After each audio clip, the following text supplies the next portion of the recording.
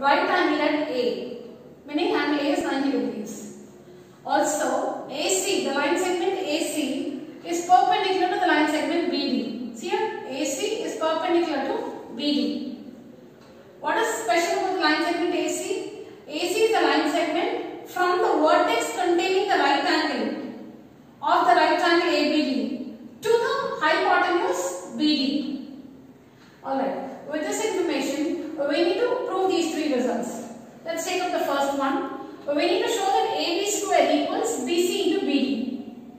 So we have already seen earlier, if you have to get an expression for AB square, then it means you need to take up two triangles which have AB as a common side and show that they are similar to each other.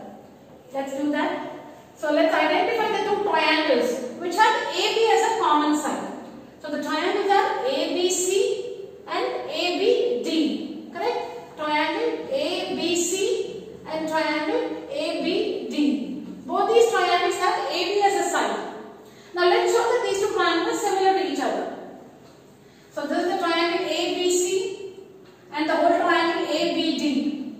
Alright? So both the triangles have a common vertex B. So if you call this angle 1, angle 1 is equal to angle 1, common angle.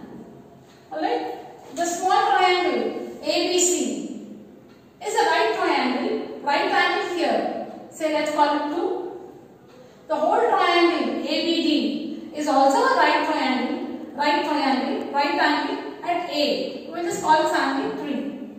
So we have angle 2, 90 degrees in the small triangle and angle 3 which is also 90 degrees in the big triangle. Angle 2 is equal to angle 3. So now by the doubly similarity criterion, these two triangles are similar to each other. So if you call it BCA, if you name the small triangle as BCA, see BCA, then you must say BAD. See this is the common vertex B. So you have to say B, similar to triangle B, common vertex. And what is C? It's the right angle in the small triangle. So which is the right angle or which is the vertex containing the right angle in the big triangle? A. So you must say A. So will be BA, BA and the third vertex D. So like this we show that the two triangles are similar to each other. Now write up the proportion because we know that in two similar triangles their corresponding sides are proportional. So we have this proportion. Alright. Next we need to uh, identify AB in the ratios. So see this ratio has AB in it. This ratio also has AB in it. So let's ignore this ratio.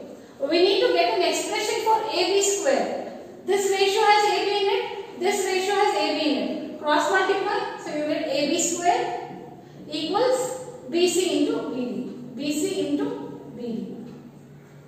So that's what we have to prove. AB square equals BC into BD. So we're done with that.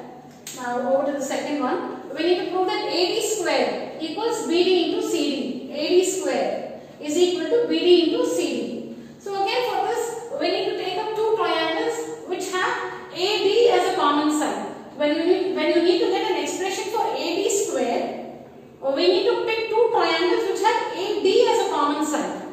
Alright? So identify the triangles with AD as a common side. So it will be ADC, the small triangle ADC in triangle ADC. Alright? And the big triangle ADB. Triangle ADB. So see, we have to pick two triangles with AD as a common side. So they, they are ADC, the small triangle, and ADB, the whole triangle, or the big triangle. So show that these two triangles are similar to each other. So how do we do that? See here, angle D, or this vertex D, is common to both the triangles, ADC, ADB. This is a common angle. Let's number it 4. So angle 4 is equal to angle 4, common angle. Correct? And triangles. This is a right triangle, this is also a right triangle. So where is the right angle? In uh, triangle ADC. C is right, C is the vertex containing the right angle. We call it 5. So we have angle 5 of the small triangle equal to angle 3 of the big triangle. Both equal to 90 degrees. So again with the doubly similarity criterion, these two triangles are similar to each other. So how do you name it? If you say DCA, D is the common vertex. D is the common vertex. C is the vertex containing the right angle and the third vertex A. Similar to triangle, this is the common vertex. So it will be D again here. This is the vertex containing the right angle in the small triangle. So it will be A here, which is the vertex containing the right angle in the big triangle. So it will be DA and the third vertex B. So these two triangles similar to each other. Now write out the proportion. We have DC by DA equals CA by AB equals DA by DB. Why? In two similar triangles, corresponding sides are proportional. Now we need to get an expression for AD square. So where do we have AD? We have AD here and we have AD, AD here. So ignore this ratio. Cross multiply these two ratios. So we have AD square